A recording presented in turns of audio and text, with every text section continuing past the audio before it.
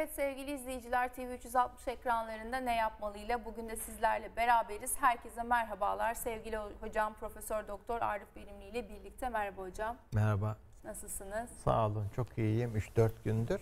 Evet dedeliğinizin 3. 4. gününde atlattınız. Nasıl geçti dedelik? Vallahi yeni oluşan şartlara uyuma çabası içindeyim. yeni oluşan şartlar biraz değişik tabii. Ee, uyuma çabası içindeyiz. Bakalım. Yani. Sağlıkla büyüsün inşallah. İnşallah. İnşallah. Bütün duamız da o. Evet sevgili izleyiciler şimdi bugün programımızda neler var ona bakalım ardından devam edeceğiz. Sağlıkta şiddet son bulmuyor. Bir doktor hasta yakınları tarafından yumrukla darp edildi. Peki dehşete düşüren saldırının sebebi ne? Birazdan. Yeşil sahada bu kez öğrenciler arasında tansiyon yükseldi. Liseler arası futbol turnuvasında gençler maçı bıraktı, yumruklarla birbirlerine saldırdı. Birazdan Sihirli Annem dizisinin Tuğçe'si Damla Ersubaşı yasaklı madde kullandığını ağlayarak itiraf etti. Gözyaşlarıyla çektiği videonun perde arkasında ne var? Tüm detaylar birazdan. Bu kadar da olmaz dedirten hırsızlık. Bir şahıs cami cami gezerek tüm muslukları çaldı. Birazdan bir anda yere yığıldı, kalkmak istedi ama gücü yetmedi. Kalbi duran ortaokul öğrencisine öğretmeninden hayat kurtaran müdahale. Birazdan o yok olmaya yüz tutmuş bir mesleği yaşatmaya çalışıyor. Babasından miras kalan ayakkabı tamirciliğini devam ettirmeye çalışan İbrahim Usta'nın hayat hikayesi birazdan. Evet bugün e, ne yazık ki acı bir haberle başlıyoruz sevgili izleyiciler programımıza. Cuma ve cumartesi günü gelen acı haberle tüm ülke yasa boğuldu. Irak'ın kuzeyinde Pençek Kilit Harekatı bölgesinde teröristlerle çıkan çatışmada 12 askerimiz şehit oldu. 12 kente ateş düştü. E, kimi ardında ana babasını, eşini, çocuğunu bıraktı. E, ne yazık ki e, sadece 12 kişi hayatını yitirdi, 12 askerimiz şehit oldu demekle bitmiyor. Çünkü geride 12 ana, 12 baba, e, çocuklar, en az 12 kardeş, e, sevdiğini bekleyen kadınlar, belki de babasını hiç göremeyecek çocuklar kaldı geride. O yüzden bugüne başlamak bizim için de oldukça zor. Sadece 12 şehidimiz var demekle e, deyip geçmek istemedik. Şehitlerimizin isimlerini de ben sıralamak istiyorum. Piyade uzman çavuş Abdülkadir İyem Şanlıurfa, Piyade uzman çavuş Ahmet Arslan Yozgat, Piyade sözleşmeli er Cebrail Dündar Mardin, Piyade sözleşmeli er Semih Yılmaz Kırıkkale, Piyade sözleşmeli er Kemal Aslan Elazığ, Piyade sözleşmeli er Enes e, Enes Budak Ağrı, Piyade uzman onbaşı İsmail Yazıcı Zonguldak, Piyade sözleşmeli er Yasin Karaca Tokat, Piyade sözleşmeli er Çağatay Erenoğlu Sinop, Piyade sözleşmeli er Emre Taşkın Malatya, Piyade Teğmen Ramazan Günay Afyon Karahisar. Ve Piyade Uzman Çavuş Mehmet Serinkan Denizli Ülkemizin başı, başı sağ olsun. Kahraman şehitlerimize Allah'tan rahmet, yakınlarına başsağlığı diliyoruz. Tüm ülkeye başsağlığı diliyoruz. Ee, elbette vatan sağ olsun ama keşke beraberinde evlatlarımız da sağ olsa demeden edemiyor insan. Ee, siz de söylediniz. Ee, bütün ülkeyi gerçekten düşünceye boğan, üzen e, bir hadise bu. Ee, yıllardan beri 30 yıldır mücadele ettiğimiz terör örgütü ile e, zaman zaman kayıplarımız oldu. Zaman zaman e, çok üzüntülerimiz oldu. E, benim rahmetli dedem e, Birinci Dünya Savaşı'nda e, çocukları olmuştu. Çocuklarının dördüncü gününde askere gitti ve bir daha dönmedi. Yani ben bir şehit torunuyum yani bir anlamda. Ee, bunu anlayabiliyorum. Bu çok büyük bir acı. Bütün e, ailesine, bütün topluma tabii ki başsağlığı diliyorum. Öncelikle şehitlerimize Allah'tan rahmet diliyorum. Mekanları cennet olsun. E öyle zaten. Amin. Zaten öyle. Yani evet. öyle. Yani kimin cennete gideceği belli olan tek şey şehitler. Ben öyle anlıyorum. Yani vatanın savunması, bu da bize vatan savunmasıdır. Çok ciddi biçimde.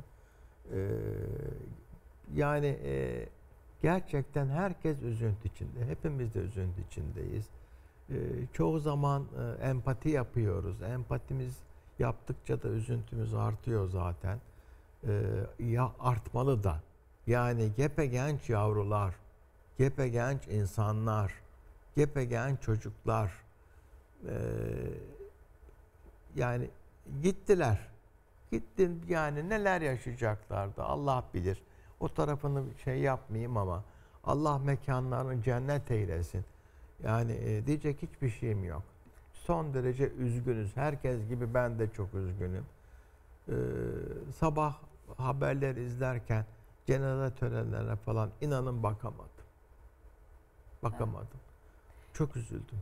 Ee, çok çok acı gerçekten tabii sonuç olarak ateş düştüğü yeri yakıyor. Biz ne kadar üzülsek de ne kadar kahrolsak da e, ocaklarına ateş düştü şehitlerimizin. E, geride bıraktıklarına da sabırlar diliyoruz. Yaralı Mehmetçiklerimize de acil şifalar diliyoruz. E, umarız son olur. E, böyle zamanlarda hocam insan sıcak yastığına başını koymaya bile utanıyor. Kendi evladını sevmeye bile utanıyor. Doğru. E, ne büyük hayallerle pamuklara sarıp sarmaladıkları evlatlarını vatan uğruna feda eden ailelere de başsağlığı diliyoruz. E, ve sıradaki haberimize geçiyoruz şimdi sevgili izleyiciler. E, son günlerde doktora şiddet olayları ile ilgili sık sık haberler vermiştik. Bugün de onlardan bir tanesi var sırada. Asistan doktora yumruklu saldırı. E, asistan doktor hasta yakınları tarafından yumruklu saldırıya uğradı. Saldırı ve arbede anı kameralara da yansımış. Şişli polisi tarafından gözaltına alınan iki şahıstan biri tutuklanırken diğeri ise adli kontrol şartıyla serbest bırakıldı. Şahısların gittikleri hastanede kız kardeşinin saçına doktor dokunduğu için doktora saldırdıkları ortaya çıktı. Olayı anlatan bir VTR'miz var şimdi onu izleyelim. Kardeşimin saçına dokundun dedi, doktora yumrukla saldırdı. Hastane koridorundaki o saldırı güvenlik kamerasına yansıdı. Olay Ok Meydanı Profesör Doktor Cemil Taşçıoğlu Şehir Hastanesi'nde yaşandı. Yeşil alanda görevli asistan doktor hasta yakınları tarafından saldırıya uğradı. Hastanedeki çalışanların beyaz kot vermesi üzerine olay yerine polis ekipleri sevk edildi. Yüzü kanlar içinde kalan doktor tedavi altına alındı.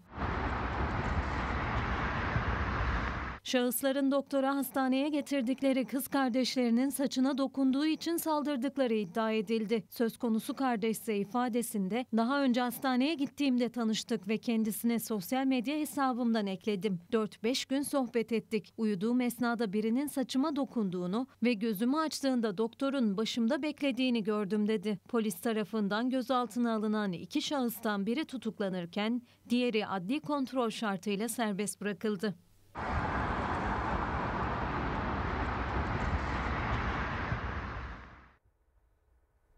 Evet. Şimdi enteresan ayrıntılar var hocam. Söylediği gibi kızın da daha önce e, hastaneye yine gittiğimde doktorla tanışmıştık. Sosyal medya hesabımdan ekledim. Yazıştık diyor ve sonra yine dişim ağrıdığı için fazla ilaç aldım. Abimle birlikte hastaneye gittim. E, o sırada e, herhalde ilaç verdikleri sırada doktorun saçını okşadığını yani saçınla oynadığını, saçına dokunduğunu falan söylüyor.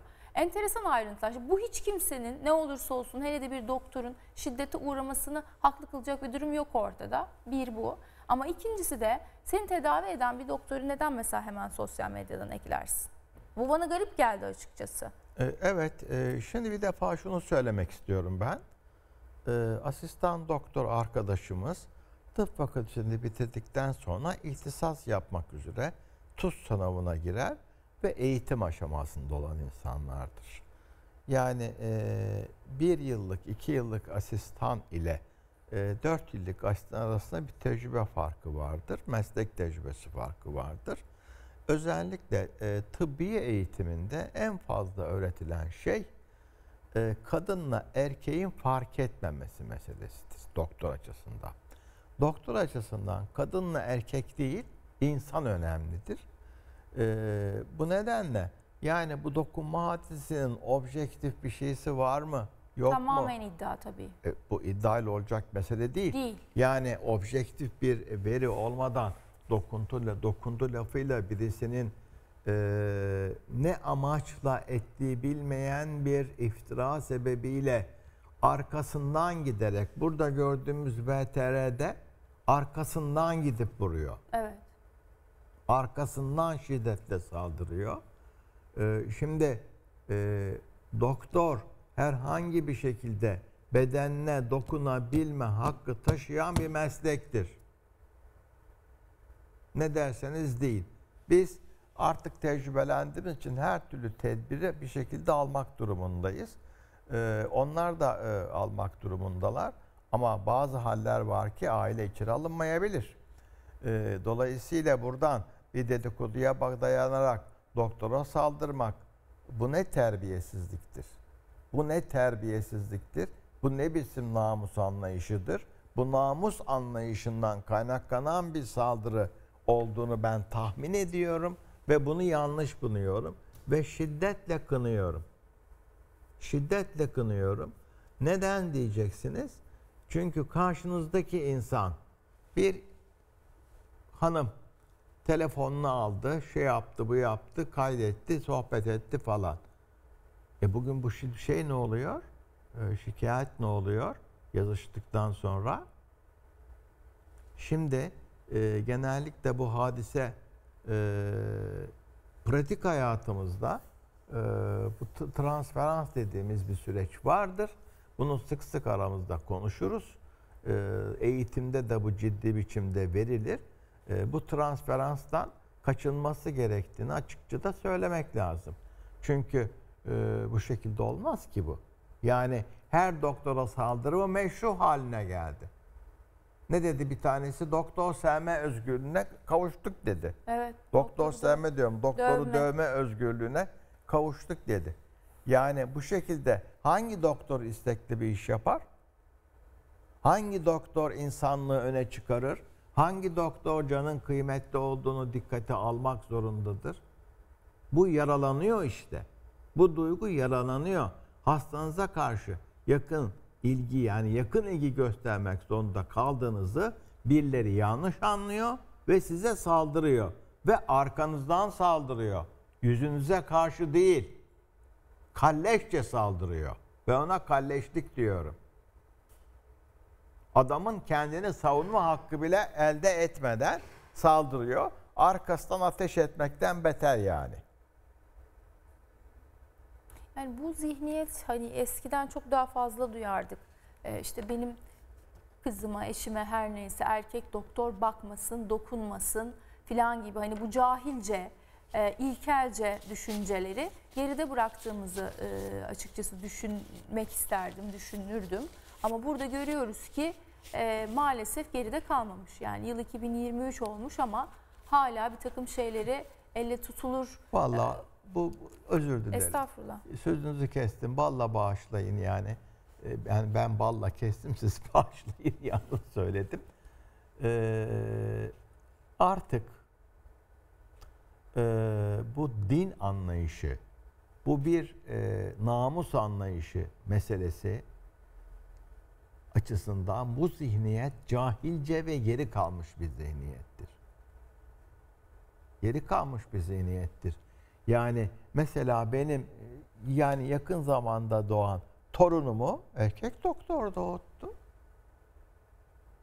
Erkek doktor doğuttu. Kadın mı kız mı erkek mi diye sormadık biz kimseye. Hocam Sormayız artık bu da. yılda bunu konuşmak bile bana çok garip ve ayıp geliyor yani. Ayıp geliyor tabii. Ayıp geliyor tabii. Gerçekten doktorlar bunca şeye rağmen hala can hıraç ki pandemide gördük. Ee, can kurtarmaya devam ediyorlar. Doktorlukta böyle bir meslek işte yani. Vallahi bakın ben pandemi sırasında 10 gün hastanede yattım. Ciddi biçimde hasta oldum ve hastanede yattım.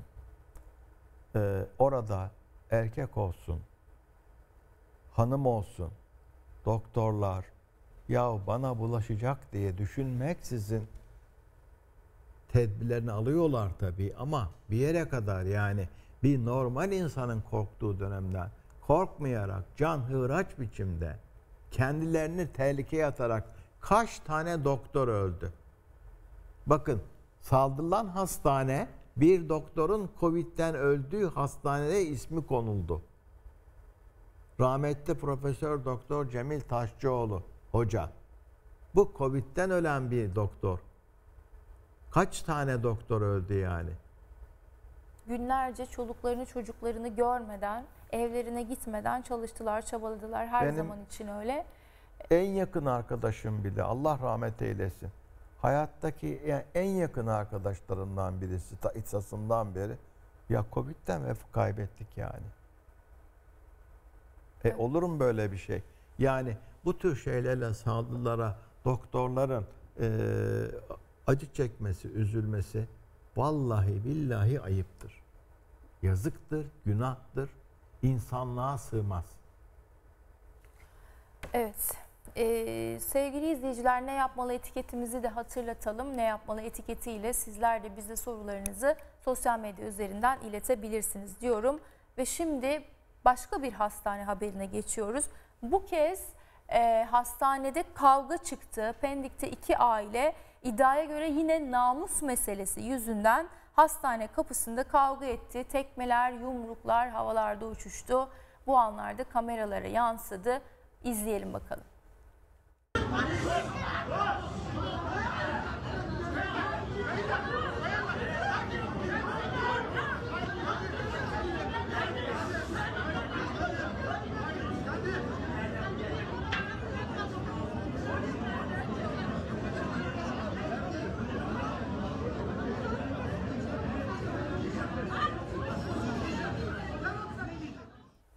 Ne namusmuş be kardeşim.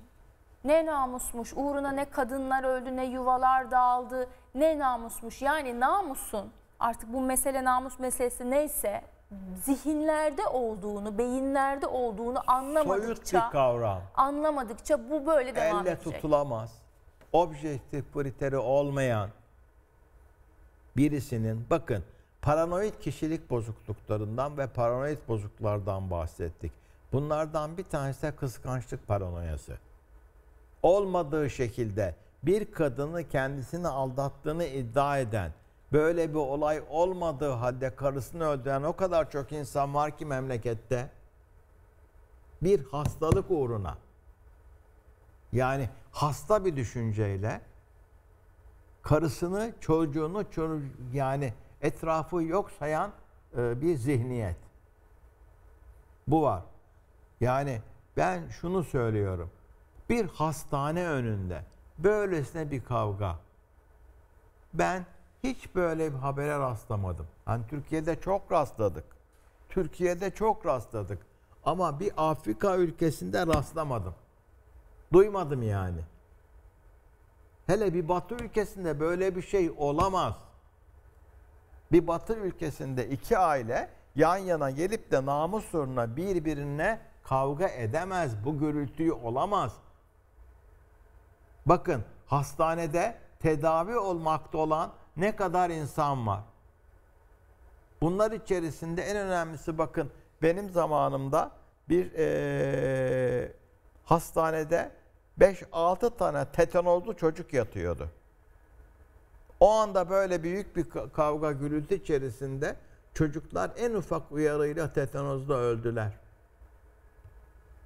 Bunun hesabını kim soracak? Olur mu böyle bir şey? Evet. Yani Afrika'da orada hele gelişmiş ülkelerde hiç yoktur. Gelişmiş ülke demeyeyim, gelişmiş toplumlarda yoktur. Bu bizim gelişmediğimizin en güzel örneği. Maalesef öyle. Yani en güzel örneği. Bakın orada biri var bastonuyla falan saldırıyor. Yani yaşına başına bakmadan gerçekten inanılır gibi değil. Artık biz bu haberleri verirken utanıyoruz. Ama bu olayların içine giren insanlar bu olayı yaşadıkları için utanmıyorlar. Çünkü dünyayı iki gözüyle, iki kulağıyla yaşıyor. Dört kulak, sekiz kulak, sekiz gözle yaşasa Asla olmaz böyle şeyler. Okuma yok, yazma yok. Sosyal medyadan kötü etkilenme var. Herhangi bir şekilde bir kitap okuma yok. Kendini geliştirme yok. Nefes almak, yemek yemek dışında abuk subuk şeylerle uğraşan beyinler var. E ne olacak peki bu gidiş? Ama sorsanız bütün sosyal medya platformlarında da hesapları vardır. Yani E, e, Instagram, osu busu hepsini yani, bilir. Ama olmayan bir şey var. Beyin. Beyin muhakemesi yok. Sağlıklı bir muhakeme yok. Yani bu gürültüden hastanede kaç tane kişi zarar gördüğünü düşünen yok. Tabii canıyla uğraşan bir sürü insan var orada. Evet, tabii bitmiyor bu haberler sevgili izleyiciler. Bitmeyecek de biz böyle e, Bu haber- namus meselesi de bitmeyecek ya. Namus soyut bir kavramdır kardeşim. Objektif bir kriteri yoktur bunun. Olmaz böyle bir şey. Namus insanın sosyal yargısı içinde vardır. Zihinle ve vicdanla sin- e, benimsediği kadarıyla yaşar. Ve zihinlerde olan bir soyut bir kavramdır yani namus. Evet. Şimdi hocam sırada da enteresan bir haber var. Geçtiğimiz günlerde sosyal medyada e, paylaşımı dolayısıyla aslında insanların e, fark ettiği bir durum bu. Sihirli Annem dizisinin Tuğçesi Damla Ersubaşı'nın gözyaşlarıyla çektiği bir video sosyal medyada e, oldukça izlendi. Ağlayarak yasaklı madde kullandığını itiraf ettiği bir videoydu bu. Kızlarının babası eski eşi Mustafa Can Keser'in iddialarına yanıt verdiği paylaşımda yasaklı madde kullandığını itiraf ediyordu. Şimdi o videoyu bir izleyelim ardından başka ayrıntılar da var. Uyuşturucu batağına düştüm, uyuşturucu içtim. Sonra parayı kumarda harcadım, uyuşturucu da harcadım tamam mı? Bu para da eski kocam, çocuklarımın babası Mustafa Can Keser'in ailesinin parasıydı. Sonra ben tabii bunu çeşitli vaatlerle aldım bu parayı. Parayı da tek başıma yedim. Mustafa'nın hiçbir alakası yok. Neyse sonra Mustafa sürekli beni bununla tehdit etti. Tamam mı? Beni bununla tehdit etti. Önce dedi ki bunu aileme söylerim dedi. Çocukları bana vereceksin dedi. Tamam senin pisliğinden kurtulayım yeter ki dedim. Çocuklar sende kalsın dedim. Ben çocuklarımı izlediğim zaman görürüm dedim. Hepsinin mesajları var. Hepsinin de zaten delillerini sunacağım bundan önce. Ondan sonra yetmedi dedi ki çocukları da verdim pisliği bitmedi bırakmadı tehdidi de bitmedi şiddeti de bitmedi parayı da ödüyorum ama ben bu arada ablasına abisine Ondan sonra dedi ki seni magazine rezil edeceğim dedi. Evren Abdullahoğlu'na mesaj atmış. Demiş ki bu haberi gir. Mesajlar var bende hepsini bana da attı. Şimdi çocuklarımı benden ayırdı ya. İstediği her şeyi yapsın. Çocuklarımın annesiz kalmasının tek sebebi Mustafa Can Keser ve ailesi. Tamam mı? Evet, çift 2016 yılında evleniyor. Zehra ve Zeynep adında iki kızları oluyor ve 2020 iş- yılında boşanıyorlar hocam ama ancak e, velayet konusunda bir türlü anlaşamıyorlar. Şimdi burada Damla e, uyuşturucu madde kullandığını, kumar oynadığını ve eşinden aldığı paraları bu kumarda harcadığını itiraf ediyor. Fakat sonra gelen bir açıklama e, gözyaşları içinde çektiği bu itiraf videosunun avukatı aracılığıyla yaptığı açıklamada gözyaşlarıyla e, itiraf e, videosunu çektiği sırada eşi tarafından tehdit edildiğini, bunları söylemesi için eğer bunları çekip videoyla sosyal medyada paylaşmazsan, yani bir nevi kendini e, hatalı göstermezsen çocukların yüzünü bir daha göremezsin dediğiyle ilgili de bir açıklama yaptı. Burada tabii şimdi olan hiç kimseye olmuyor çocuklardan başka. Yine çocukların burada kullanıldığı, aslında birbirlerine olan hırslarını, öfkelerini çocuklardan çıkarıldığı bir durum var. Çocuklardan biri bir taraftan çekiyor çocukları, öbürü öbür taraftan çekiyor. Evet. Ee, şimdi e, bu olay son derece ilginç bir şey. Yani aslında sık görülen bir mesele. Yani gizli kapaklı sık görülen mesele. çocukların velayeti meselesi anne ile baba arasında birbirlerinden öç alma meselesidir. Çocukları sevdikleri için değil, çocuklara bakacakları için değil, çocukları ben daha yetiştireceğim dediği için değil. Şimdi annesiz olan bu çocuklar herhangi bir şekilde erkeğin eline geçti. Peki e, yarın o çocukların eğitimi nasıl olacak? Nasıl büyüteceksiniz onları? Değil mi? Ha, şimdi bu vakanın dışında konuşuyorum ben. Bu vakanın dışında konuşuyorum.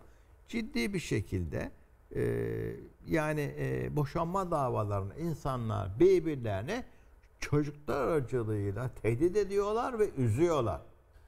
Ve buna zorluyor. Ve buna zorluyor. Şimdi bir başka açıdan bakacağım müsaade ederseniz. Uyuşturucu kullandığını itiraf eden bu genç hanım direksiyon başında. Evet. Yani işte trafikte de uyuşturucu kullanımının denetlenmesi gerektiğini ben söylüyorum. Sadece alkol kullanmak yetmez diyorum. Bunun pratik yollarının bulunması lazım geldiğini ve olduğunu da söylüyorum. Trafikte uyuşturucu kullananlara araba direksiyonuna girmesi yanlıştır. Uyuşturucuyla mücadelede özellikle emniyet güçlerinin dikkat etmesi gereken noktadan birisi de bu. Ben bunu söylüyorum. Onu hatırlatmak için söyledim. Evet. Bundan bağımsız olarak söylüyorsunuz bunu Tabii tabii. bundan bağımsız Çünkü olarak- burada, e, burada- iddiaya göre bu durum burada bir şey- iddia var. E, taraf olamayız, bir şey söyleyemeyiz. Yani ona mahkeme falan karar verir. Bizim söyleme hakkımız yok.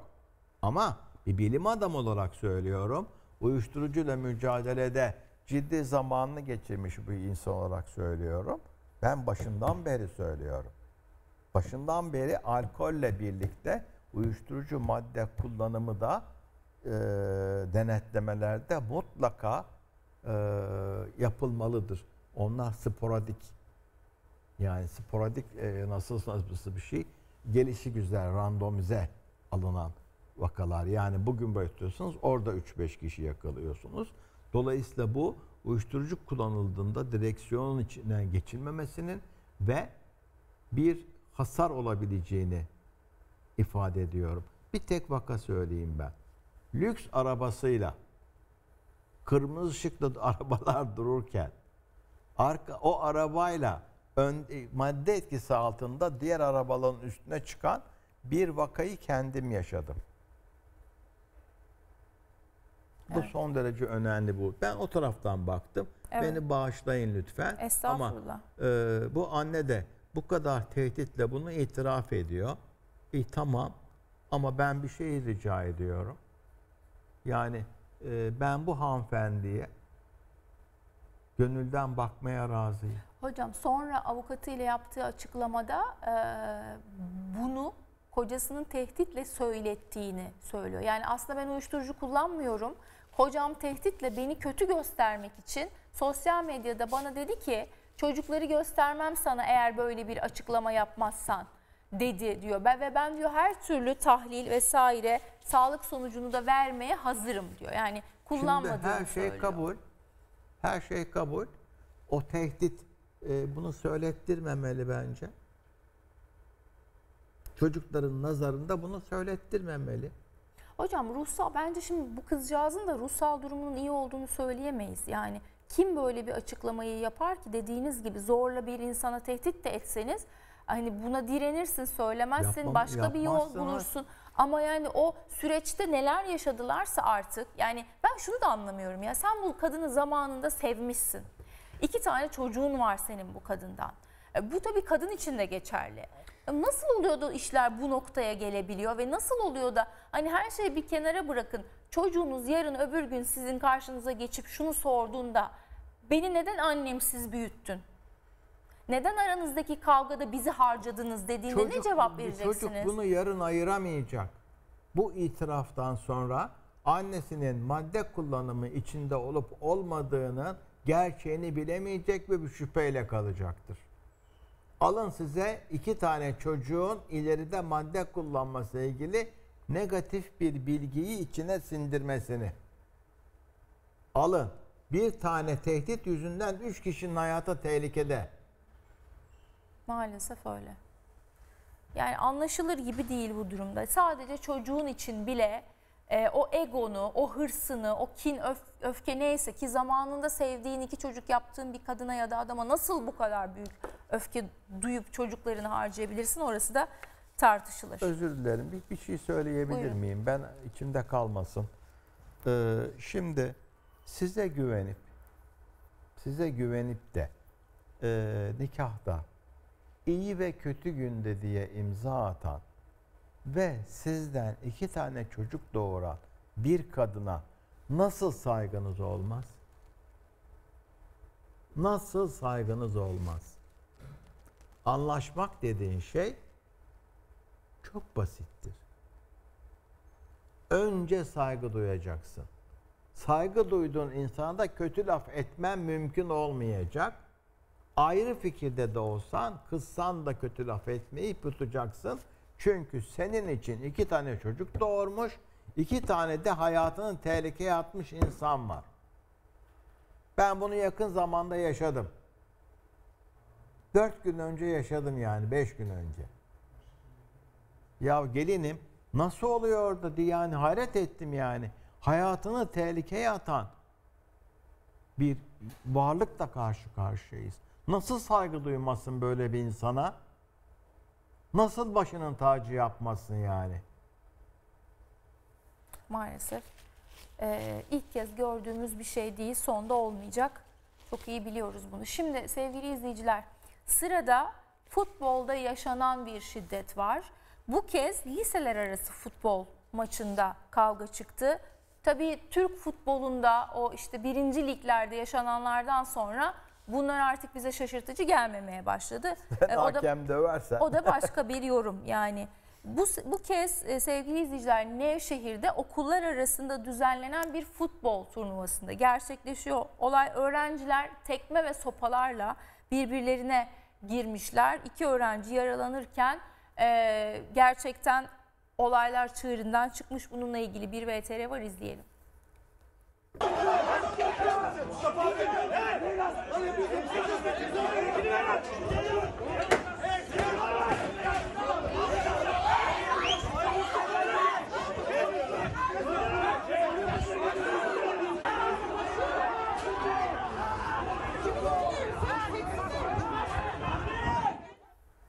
E bir laf vardır ya hocam ön teker nereye giderse arka teker de onun peşinden gidermiş diye. O yüzden buna yani lise çağındaki çocukların e, gördükleri, izledikleri işte geçtiğimiz hafta izlediler bir hakemin nasıl yerde tekmelendiğini. E, dolayısıyla da buna da şaşırmıyorum yani böyle bir durumda. Bundan sonra Türkiye'de bakın ülkemizde iki tane önemli olay yaşandı. Bir, e, bir takım maçın yarısında hakem yanlış karar veriyor, diye sağdan çekildi. Neyse ismini de vermeyelim. Anlatabildim mi? Bunlar yaşanıyor. Ama benzer olaylar hep gelişmiş ülke örnekleri verdik ya biz bugüne kadar. Evet. İngiltere'de çok büyük bir ardebe oldu bir maçta. Seyircilerin arasında ölüler falan oldu. Ve ondan sonra uluslararası maçlardan İngiltere yıllarca men edildi. Yıllarca men edildi. Daha yeni yeni uygun o cezalar kalktı. Şimdi burada ikinci mesele de ergenlik meselesi. Ergenlik döneminde bunlar e, bu tür itiş kakış doğal sayılabilir. Çünkü çünkü futbolun tabiatında e, ruhsal açıdan bir takım açıklamalar vardır. Futbolda insanın içinde bulunan saldırganlık dürtüsünü yüceltme anlamında tekmeden çıkarırlar. Futbolu döverler yani ve seyirciler de ona katılır ve daha sosyal bir hale getirilir hadise. Bir savunma mekanizmasıdır bu ruhsal bakımda ve şimdi giderek o mekanizma para kazanma kadar getirildi. Zengin olmanın yoluna kadar geldik. E, e olsunlar, yetenekler olsunlar, gözümüz yok, başarılar da olsun. Ama öyle bir mesele var. Ee, yani ama önemli olan konu bir futbolda şiddetin dışarıdan girişiyle beraber kademe kademe yayılmasını görüyoruz. Görüyoruz. Yani bir anda üç tane olay yan yana çıkıyor. Tabii şiddet de bulaşıcı bir şey. bulaşıcı bir şey tabii. Özellikle e, bir cezasızlık meselesi söz konusu olduğu zaman, e, bir ceza alınamayacağı söz konusu olduğu zaman, bir güvenlik güçleri sporla ilgili olan e, polisin şeyleri var. Bunlar buralarda görev almadığı zaman ciddi bir sıkıntı söz konusu olma şansı var. Evet. E, bu görüntüler gerçekten çok çok üzücü. E, ama dediğimiz gibi yani bu ön teker arka teker meselesi. E, şimdi o birinci ligdeki abileriniz de e, belki bunları görüp biraz utanırlar. Biz çocuklara nasıl örnek olduk diye. Peki şimdi başka çocuklarla ilgili başka bir haberimiz var sırada. Çocukların tehlikeli oyunları yürekleri gerçekten ağza getirdi. Sancaktepe'de bir grup çocuk seyir halindeki kamyonun arkasına tutunarak dakikalarca yolculuk yaptılar. E, canını hiçe sayan bu çocukların görüntüleri de an beyan kameralara yansımış. Gördüğünüz gibi hocam bir kamyonun arkasına tutunmuşlar. E, bir oyun e, kendilerince yaptıkları, oyun için yaptıkları bu şeyin aslında ne kadar tehlikeli olduğunun farkında bile değiller. E, yani düşmeleri, aracın altında kalmaları ya da arkadaki aracın çarpması sonucu arada sıkışmaları işten bile değil. Ee, bir de belediye otobüsü var aynı yerde.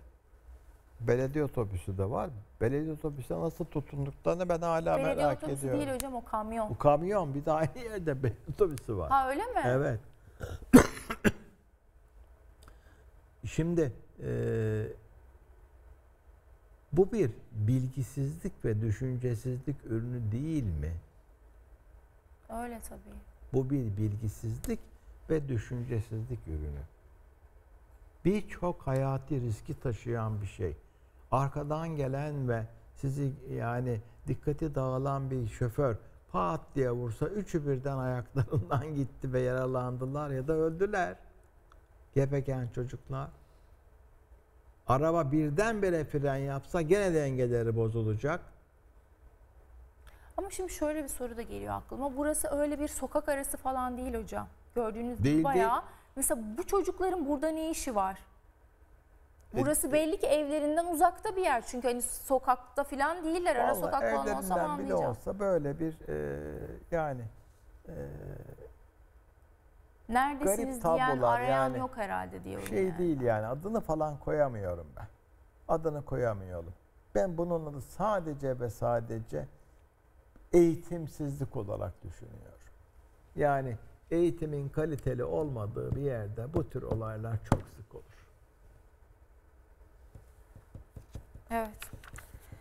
Evet şimdi e, sıradaki haberimiz yine bir mucize haberi.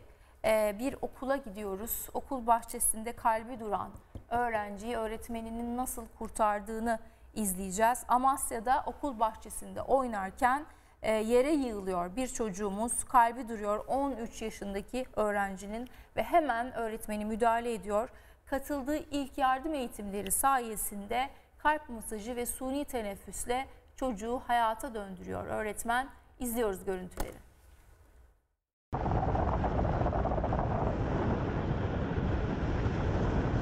Oyun oynarken bir anda yere yığıldı, kalkmak istedi, gücü yetmedi. Kalbi duran ortaokulu öğrencisini öğretmeni kurtardı. E, kalp masajı yapmaya başladım. E, suni teneffüs e, uyguladım.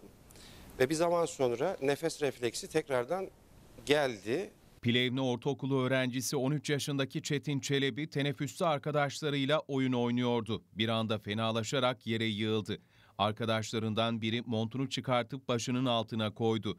Çetin iyi olduğunu düşünerek kalkmak istedi. Ancak yeniden yere yığıldı. O masaj, e, kalp masajı yaptıktan sonra o nefes refleksinin tekrardan geldiğindeki o içimdeki hissiyatı anlatmam mümkün değil. Olayı fark eden fen bilgisi öğretmeni Hüseyin Aktaş hızla Çetin'in yanına geldi. Aldığı ilk yardım bilgileriyle kontrolleri yapan öğretmen Çetin'in kalbinin durduğunu fark etti. 3 dakika boyunca kalp masajı ve suni teneffüs uygulayan öğretmen, öğrencinin nefesinin yeniden seyrine girmesini başardı. Daha önce e, böyle bir durumla karşılaşmadım. İlk defa başıma geldi. Hani normalde sorsanız öyle bir durumda e, müdahale edebilir misiniz diye sorsanız belki işte telaş yaparım, e, panik yaparım şeklinde cevap veririm ama o an o olayın içerisinde çocuğun öğrencimizin de e, o vaziyetini gördüğümde bir cesaret geldi. İlk müdahalesi yapılan öğrenci ihbar üzerine gelen sağlık ekiplerine teslim edildi. Yoğun bakım ünitesinde bir süre müşahede altında tutulan öğrencinin durumunun iyiye gitmesi üzerine tedavisine serviste devam edildi. Çetin Çelebi yeniden okula döneceği günü heyecanla bekliyor. Evet arkadaşlarının mesajını da görmüş olduk böylelikle. Gerçekten bir mucize bu ilk yardım meselesini hep konuşuyoruz ama ben şeyi hocam garip buluyorum. Son dönemde çocuklarda bu kalp durması, e, bu tarz olaylar çok fark, e, fazlalaştı farkında mısınız? Ee, şimdi e, şöyle bir şey var. Ee, özellikle bu tür haberleri sıkça almamızın e, başka sebepleri var.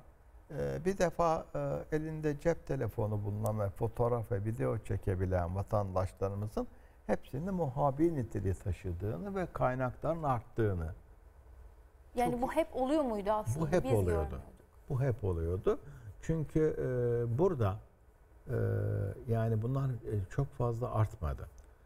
E, burada en önemlisi şu. Hani meşhur bizim yüzde yetmiş ve yüzde on beş, eksi yüzde on beş problemimiz var ya. Biz artı yüzde on beştekileri konuşmaya başladık. Şimdi artı yüzde on beşte insanca davrananı gördükçe teşekkür ediyoruz, şükran duyuyoruz.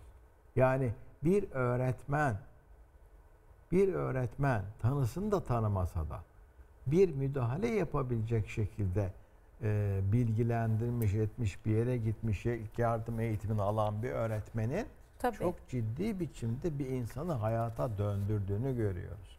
Buradan da kendisine müteşekkirim ben. Evet çok çok Gerçekten önemli. teşekkür ederiz. Gerçekten. Şimdi günün e, bizim içimizi ısıtan haberini vereceğiz.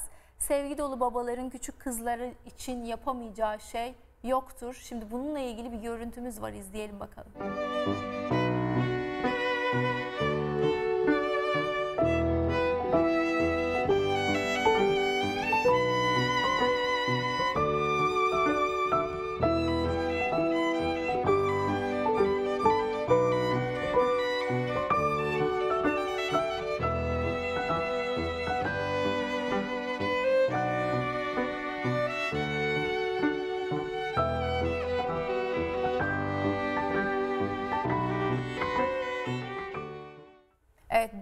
1.95 boyunda ve 150 kilo olan bir babanın kızı için tütü etek giyerek bale yaptığı görüntüler sosyal medyada büyük ilgi uyandırdı. Böyle babaya sahip olan kızların hayatta korkacak hiçbir şey yoktur. Evet. Benim torunum da öyle olacak. Yaşasın. Benim torunum da öyle olacak.